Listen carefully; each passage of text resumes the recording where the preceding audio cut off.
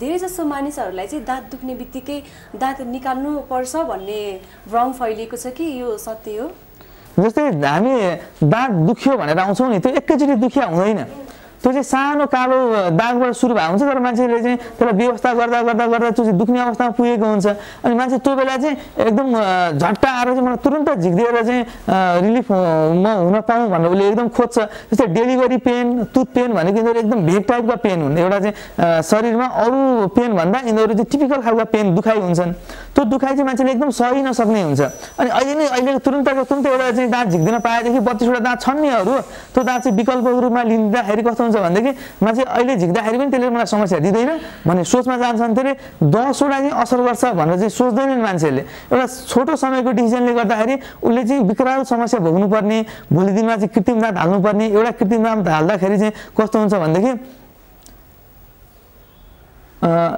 लाखभन्दा बढी पर्ने हुन्छ। हामी इम्प्लान्ट भन्ने चाहिँ जुन नयाँ टेक्नोलोजी आइरहेछ अहिले चाहिँ बाहिरी देश र नेपालमा पनि भित्रिसकेको छ त्यो। त्यो इम्प्लान्टलाई चाहिँ हामीले तिन चार महिना लाग्नु लाग्ने हुन्छ। हामीले खर्च गरेर पनि तिन चार महिना समय दिनै पर्ने हुन्छ। अनि त्यसको लागत खर्च पनि एक लाखभन्दा माथि छ। जुन दाँत चाहिँ हजुरले हामीले चाहिँ हजार रुपियाँमा उखालेर एकदम छोटो समयको डिसिजनले गर्दाखेरि हामी त्यतिसम्म चाहिँ पर खर्च गर्ने अवस्थामा पुग्ने हुन्छौँ। त्यो कुरा नबुझ्दाखेरि अहिले भयावह स्थिति चाहिँ आइरहेछ। अनि हामी एउटा दाँत झिक्दाखेरि त्यसको अपोजिट दाँतलाई चाहिँ काम नपाउने अवस्था आएको एउटा दाँत झिक्दाखेरि दुइटा दाँत झिकेको बराबरको चाहिँ उसले नोक्सानी बिहोर्नु परेको नबुझ्दाखेरि यो चाहिँ दाँत झिक्ने कुराहरूलाई चाहिँ छोटो एकदम छोटो डिसिजनमा चाहिँ लिएर दाँत झिक्नु हुँदैन। छोटो डिसिजनमा चाहिँ दाँत लु म दाँत झिक्छु म मलाई दुख्यो मलाई झिकिदिनुहोस् भनेको भरमा नझिकिदिनुहोस् दाँत। कोही कुनै पनि चाहिँ एउटा चाहिँ सर्जन होस् या चाहिँ कुनै पनि एउटा डेन्टल रिलेटेड हाम्रो फिल्डमा आएको हुन्छ उहाँहरूलाई चाहिँ ए दाँत झिक्नु है दाँत उपचार गरेर चाहिँ त्यो झन्झट मात्रै हो ठिक हुँदो रहेनछ भन्ने एउटा चाहिँ भ्रम जुन एउटा गाउँ समाजमा मैले सुन्छु। त्यो भनेको सही डक्टर र चाहिँ सही दन्त चिकित्सकमा हामी पुग्यौँ भनेदेखि त्यो दाँतहरू ठिक गर्ने विभिन्न प्रक्रियाहरू विभिन्न प्रविधिहरू नेपालमा भित्रिसकेको छ।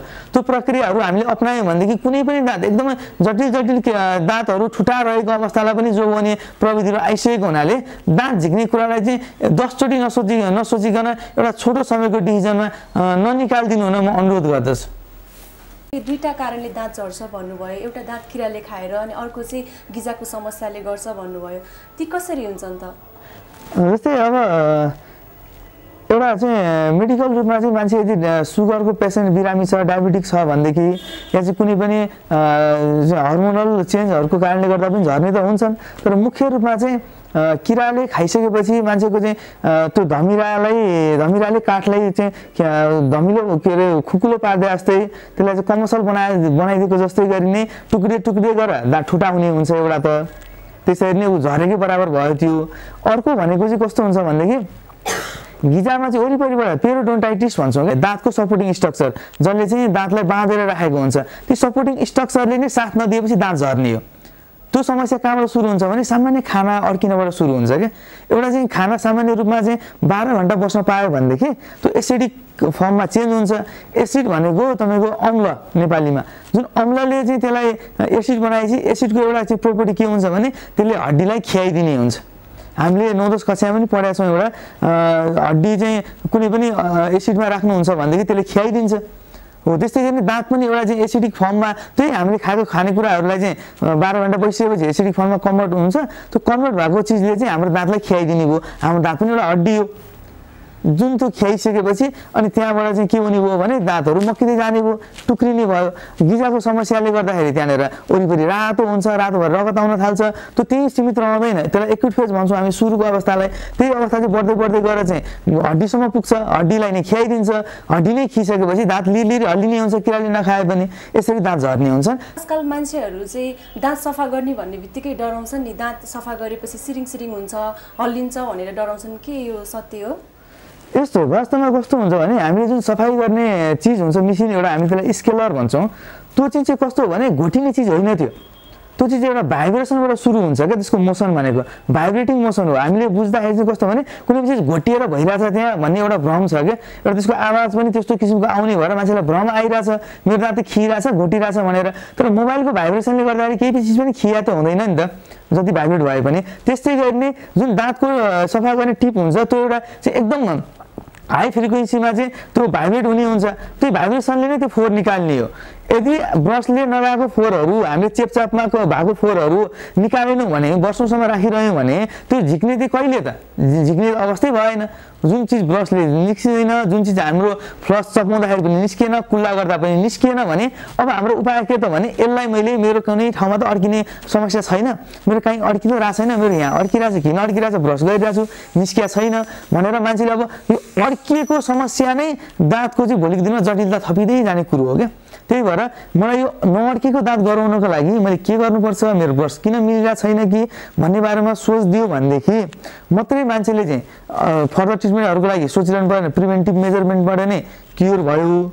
होइन? अब यो चिजलाई चाहिँ हामीले चाहिँ इग्नोर गऱ्यौँ। ब्रस नै हो। मेन भनेको दाँतको समस्यामा एट्टी पर्सेन्ट रोल चाहिँ ब्रसको राम्रो गर्ने तरिका नै मा डिपेन्ड छ है। मैले भने दाँतको सफाइमा चाहिँ हामीले दाँतको ट्रिटमेन्टमा ब्रस नै एट्टी पर्सेन्ट रोल हुन्छ। ब्रस राम्रोसँग गरियो भनेदेखि भन्ने कुरा जुन मैले चाहिँ निकालेँ।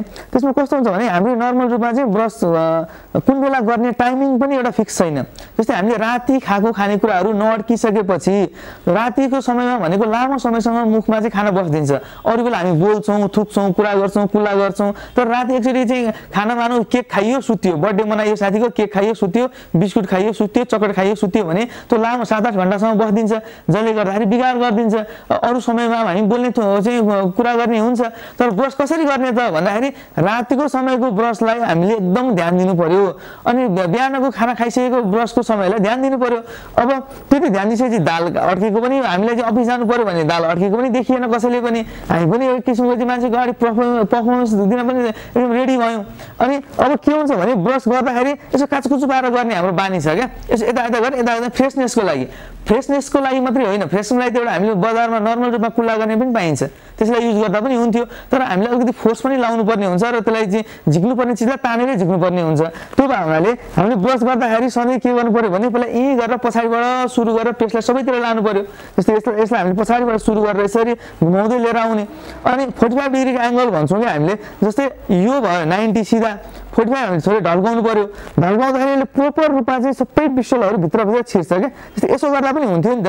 जस्तै हामीले कुचो लाउँदाखेरि यसो यसो यसो मात्रै गऱ्यौँ भनेदेखि त त्यो ती फोहोर त्यहीँ बस्दिरहेको हुन्छ राम्रोसँग गएको हुँदैन। यदि कुचोको त्यो बिस्टललाई चाहिँ हामीले यसो गरेर यतिसम्म हात लम्ब्यायौँ भनेदेखि त्यो फोहोर परसम्म पुग्छ। त्यस्तै गरी नै यो पनि कस्तो हुन्छ भने यसरी यो नाइन्टी डिग्री भयो यस्तो यस्तो भइरहेको हुन्छ। तर यसलाई यसरी हामीले फोर्टी फाइभ गऱ्यो भने पुरै बिस्टलभित्र छिर्छ है। ए अनि सफाइ हुन्छ क्लियरसँग। अब यो तिनवटा दाँतलाई भ्याउँछ। हाम्रो पिस्टल बनाएकै त्यसै हुन्छ कि यसले तिनवटा दाँतलाई भ्याउँछ? तिनवटामा यता जाने अर्को तिनवटामा जाने अर्को तिनवटामा जाने अर्को तिनवटामा जाने यता पनि जाने भित्रपट्टि पनि मासतिर तलकोलाई मासतिर मासतिरकोलाई तलतिर। है चपाउने भागमा मात्रै अगाडि पछाडि गर्ने अरू कहीँ पनि अगाडि पछाडि गर्ने होइन। हामीले अगाडि पछाडि अरू ठाउँमा गरेर केही फाइदा छैन। त्यो अगाडि पछाडि गऱ्यो भनेदेखि सबै हाम्रो दाँतको भाग खिने हुन्छ। जुन कमर्सल भागहरूलाई छिटो खियाउँछ जसले गर्दाखेरि चाहिँ एउटा वनचौरीले चाहिँ काठ काट्दाखेरिको जस्तो सेप बनिदिन्छ। जुन सेप हामीले चाहिँ उपचार गर्न जाँदाखेरि त्यो भित्तामा चाहिँ टाँसेको जस्तो हुन्छ त्यो जुन अडिने चान्सै छैन लामो समयसँग छोटो समयको लागि त ठिक छ तर लामो समय अडिँदैन। त्यही भएर ब्रसिङ टेक्निक नै सबैभन्दा महत्त्वपूर्ण भयो। दाँतको चाहिँ एउटा चाहिँ समाधान समस्या नआओस् समाधानको चाहिँ एउटा बाटो भनेको ब्रसिङ टेक्निक प्रोपर ब्रसिङ टेक्निकमै ध्यान रहनु पऱ्यो है। र जुन उहाँले भन्नुभयो अब ब्रसले नै हुन्छ भनेर त्यसमा त्यो सफा गर्ने सिस्टम चाहिँ किन पुग्नु पऱ्यो त हामी? भन्दाखेरि जुन चेपचापका दाँतका चाहिँ ब्रसले नगएका चिजहरू हामीले छ महिना एक वर्षमा भनेका छौँ। हामीले दैनिक रूपमा आउनुहोस् हामी कहाँ भनेको छैनौँ नि त। छ महिना एक वर्षमा आउनुहोस् न। काहीँ काहीँ चाहिँ नभएको फोहोरहरू ननिस्केका फोहोरहरू ती चाहिँ फोहोरहरूलाई हामीले चाहिँ इन्डाइरेक्ट रूपमा हाम्रो जस्तो हजुरको मुखको फोहोरहरू हजुरले देख्नुहुन्न प्रत्यक्ष रूपमा। अप्रत्यक्ष रूपमा जुन हामीले हाम्रो सानो ग्लास सिसा हुन्छ त्यसले चाहिँ एक एक दाँतलाई चाहिँ कहाँ कहाँ चाहिँ खाना बस्दो रहेछ के के समस्या रहेछ भनेर हामीले हेर्न चाहिँ हजुरलाई सजेस्ट गरिदिन्छौँ। यो समस्या रहेछ हजुरको यहाँ खाना बढी अड्किँदो रहेछ। हजुरले त्यो अनुसार चाहिँ फलो गर्नु पऱ्यो त्यो चिजहरूलाई चाहिँ ध्यानमा राखेर चाहिँ त्यसलाई सरसफाइमा ध्यान दिनु पऱ्यो मुखको। त्यसो गऱ्यो भनेदेखि हामी चाहिँ एक किसिमको दाँतको यो जुन एउटा खर्चिलो प्रक्रिया र समय लाग्ने प्रक्रियाबाट जोगिन्छौँ होइन अब चाहिँ आफ्नै सुले चाहिँ हामीले दुई मिनट टाइम दिन अल्छी गऱ्यौँ भने ब्रस गर्नलाई या डेन्टिस्टकोमा गएर चेकअप मात्रै गर्नलाई हामीले चाहिँ अल्छी गऱ्यौँ भनेदेखि त्यसले हजुरलाई एक महिनासम्म तानिदिरहन्छ एउटा दाँतको उपचार गर्नको लागि आजकल चाहिँ हामीहरू दाँत झन्झनाट भयो भने चाहिँ सेन्सोडान नै मात्रै टुथपेस्ट हो भनेर हामीले सबैजनाले त्यही नै प्रयोग गरिरहेका हुन्छौँ के सेन्सोडाइन मात्रै हो त यो सेन्सिटिभिटीहरू कम गर्नको लागि? कस्तो हुन्छ भनेदेखि जस्तै सेन्सोडाइनमा पनि त्यो एउटा झन्झनाट हटाउने जुन त्यो एउटा डेन्टिन भन्ने हुन्छ हाम्रो इनामेल भन्ने हुन्छ यिनीहरू चाहिँ अलिकति कमर्सियल पार्टका हुन्छन् अरू जस्तै सिमेन्टम र चाहिँ इनामेलमा धेरै नै फरक हुन्छ। जुन एउटा चाहिँ सिमेन्टममा भएको प्रोपर्टी इनामेलमा इनामेलमा नहुने हुन्छ। त्यसले गर्दाखेरि चाहिँ कस्तो हुन्छ भने सेन्सोडाइनले त्यसलाई ब्लक गरिदिएर त्यसमा चाहिँ एउटा प्रोपर्टी उनीहरूले हालिदिएर त्यो प्रोपर्टीले गर्दाखेरि झन्झट कम गराउने त काम गर्छ। तर सबै उमेर समूहमा चाहिँ सेन्सोडाइन नै चाहिन्छ भन्ने चाहिँ हुँदैन। एउटा नर्मल दुध ब्रस र पेस्टले नै त्यो काम गर्छ। एकदम महँगो खालको पेस्टले एकदम भाइब्रेटिङ आफै चाहिँ भाइब्रेसन भएर हुने पेस्ट महँगो महँगो मैले सुनिरहेको हुन्छु युकेबाट आएको छ अरे दाइले पठाइदिएको ब्रस भने हुन्छ एकदम आफै चल्ने भने हुन्छ त्यो केही पनि होइन। हामीले हाम्रो हातले कति फोर्स लगाउँछौँ दाँत ब्रस गर्ने बेलामा? त्यो नै महत्त्वपूर्ण कुरा हो। हामीले गर्ने तरिका नै महत्त्वपूर्ण कुरा हो। जस्तै अहिले पनि मैले भने हामीले चाहिँ फोर्टी फाइभ डिग्रीको चाहिँ एङ्गल राखेर ब्रस र चाहिँ दाँतको चाहिँ एक्सिसलाई मिलाएर गरियो भनेदेखि त्यो नै एउटा भरपर्दो तरिका हो। त्यो महँगो ब्रस र पेस्ट नै चाहिँ भर पर्नुपर्ने अवस्था होइन। सेन्सोडाइनमा त्यो प्रपर्टी छ तर सबै उमेर समूहले त्यो चाहिँ प्रयोग गर्नुपर्छ भन्ने होइन। जस्तै एउटा पन्ध्र बिस वर्षको चाहिँ युवा केटाहरूलाई सेन्सोडाइनको चाहिँ आवश्यक नपर्न सक्छ। यदि त्यही सेन्सोडाइन चाहिँ तपाईँको दाँत खिएर घोटेको वृद्ध भनेको पचास साठी वर्षको उमेर समूहलाई त्यो एकदम आवश्यक पेस्टको रूपमा लिइन्छ अहिले पनि। धेरैको दाँतमा किरा लाग्ने समस्या हुन्छ। अनि यो किरा चाहिँ कसरी लाग्छ? र यो किरा एक दाँतबाट अर्को दाँतमा सर्छ कि सर्दैन? यस्तो हुन्छ। दाँतको किरा भनेको जहाँ खाना अड्किन्छ त्यही किरा लाग्छ। एक शब्दमा बुझ्नुपर्दा यति हो। हाम्रो जस्तै तल्लो दाँतमा किरा लागेको भने टेको लगाएर माथि लाग्ने जस्तै पछाडि दाँतमा किरा लागेको भने लरे लाग्दै लाग्दै भरि चाहिँ सबै दाँतलाई भ्याउने भन्ने हुँदैन। कस्तो हो भने जहाँ एसिड फर्मेसन भयो त्यहीँ सडन भयो त्यहीँ सडन भइसकेपछि त्यहाँ समस्या आयो। दाँतको किरा एउटा परिवारबाट अर्को परिवारमा मेरो बुवालाई पनि थियो चाहिँ मलाई पनि भयो भन्ने यो भ्रम हो। जहाँ खाना अड्क्यो त्यही किरा लाग्यो अरू केही पनि होइन। के दाँतमा लागेको किरा देख्न सकिन्छ? दाँतमा लागेको किरा हाम्रो नर्मल आँखाले देखिँदैन। जस्तै हाम्रो कस्तो भन्छ भने डेन्टल केरी चाहिँ माइक्रोवेल स्ट्रक्चर अफ टिथ भनेको माइक्रोस्कोपले मात्रै देखिने हुन्छ। एउटा सानो चाहिँ अ, पिनको टाउकोमा चाहिँ अ, लाखौँको अ, सङ्ख्यामा त्यो चाहिँ ब्याक्टेरिया बस्ने हुन्छ। सम्भवै छैन नि हाम्रो सामान्य आँखाले देख्ने। त्यो एउटा भ्रम मात्रै फैलाएर मान्छेले एउटा गरी खाने बाटो मात्रै रोज्या हो। सामान्य रूपमा बुझ्दाखेरि हामीले दाँतको किरा देख्दैनौँ। हामी चाहिँ घरमा अथवा रेस्टुरेन्ट कतै जाँदाखेरि खाना खाँदा खाना अड्क्यो भने अ, टुथपिकहरू खुब युज गरिरहेका हुन्छौँ। के यसरी टुथपिक प्रयोग गर्नु उचित छ त? जस्तो कस्तो हुन्छ भने टुथपिकको बनावट चाहिँ सुरुमा टुप्पोमा चुच्चो त्यसपछि अलिकति मोटो मोटो खालको बनाएको हुन्छ। जसले गर्दा के हुन्छ भने टिको त सहज गरी छिर्छ आज छिर्छ भोलि छिर्छ गरेर त्यसले एउटा बाटो बनाइदिन्छ। अझ फैलाउँदै ल दुईवटा दाँतको बिचमा ग्याप बनाइदिन्छ। अझ त्यो चिज चाहिँ पहिला सानो छिर्थ्यो भने अब झन् ठुलो छिर्ने भयो। त्यसलाई चाहिँ आजबाट नै बन्द गरौँ। त्यसको लागि हामीले खाना अड्केको चिज निकाल्नको लागि एउटा डेन्टल फ्लस भन्ने हुन्छ जुन हाम्रो सामान्य धागोभन्दा अलिकति फरक स्वरूपको हुन्छ। जुन चाहिँ कस्तो हुन्छ भने एउटा फ्ल्याट हुन्छ त्यसमा चाहिँ मैनको पनि कन्टेन्ट हुन्छ। जसले गर्दा सहज रूपमा छिर्ने सजिलो गरी र सट्ट निकाल्ने हुन्छ त्यसले काहीँ पनि कुनै पनि स्ट्रक्चरहरूलाई त्यसले चाहिँ असर गर- नगर्ने हुन्छ। त्यही भएर त्यो दाँतकोमा युज हुने त्यो फ्लसको चाहिँ प्रयोग विधिहरू सिकौँ त्यसको चाहिँ जानकारी लिउँ तर टुथपिकहरूलाई चाहिँ सहज रूपमा चाहिँ प्रयोग उपलब्ध हुने भनेर चाहिँ त्यसलाई चाहिँ प्रयोगमा ल्याउन बन्द गरौँ।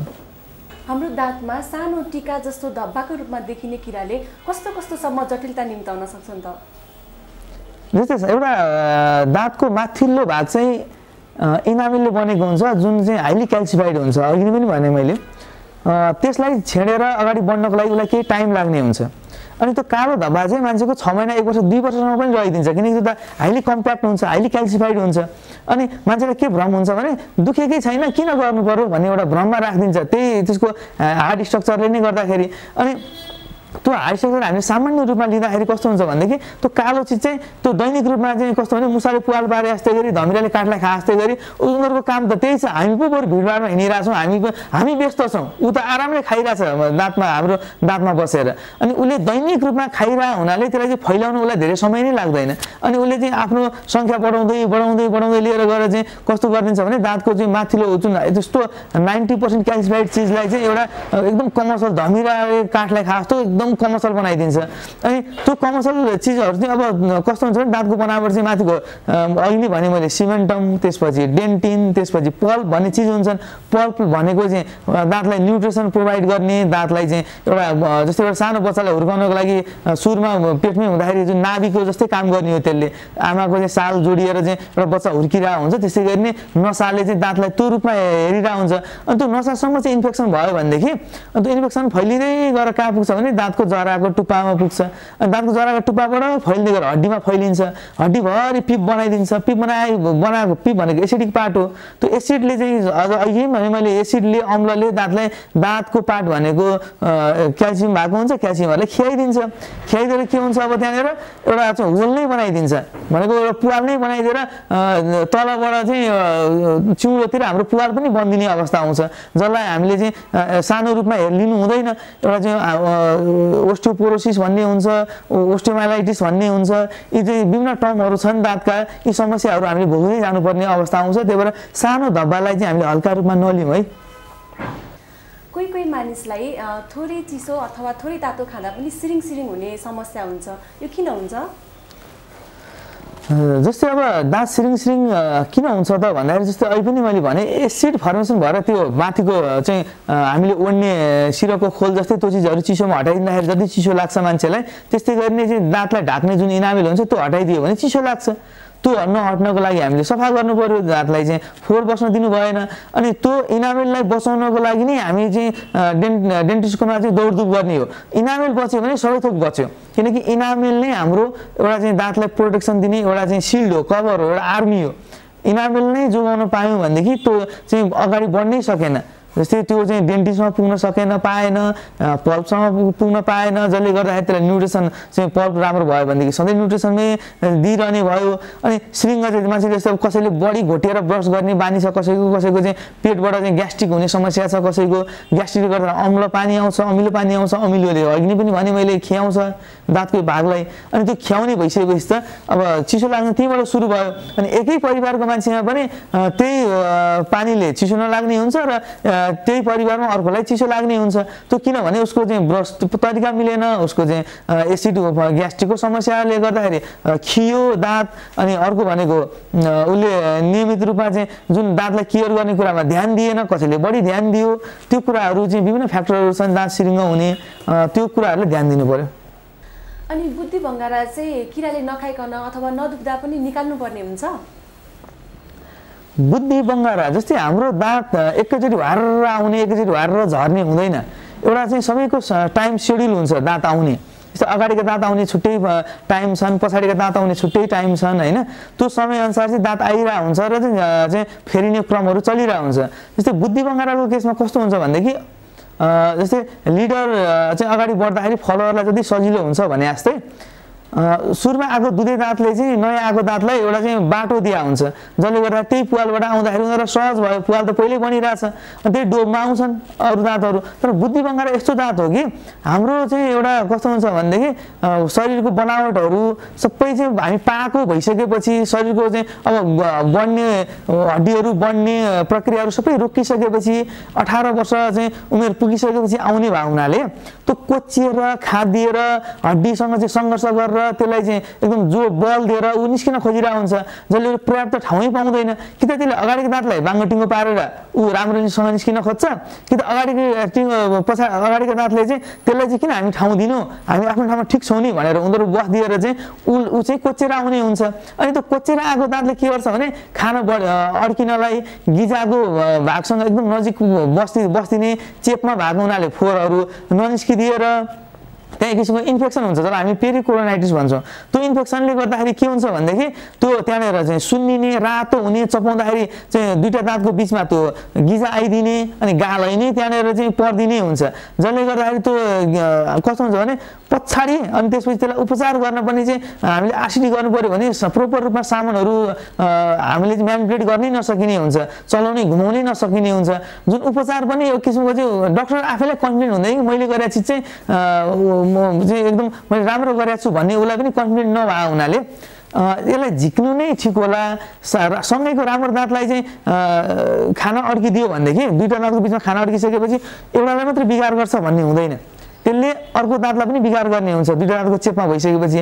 अनि सँगैको राम्रो दाँत जसले चाहिँ भोलिसम्म हामीलाई चाहिँ चपाउन सहयोग गर्ने हुन्छ त्यो दाँत पनि चाहिँ किरा लगाइदिएर बिग्रिने हुन्छ।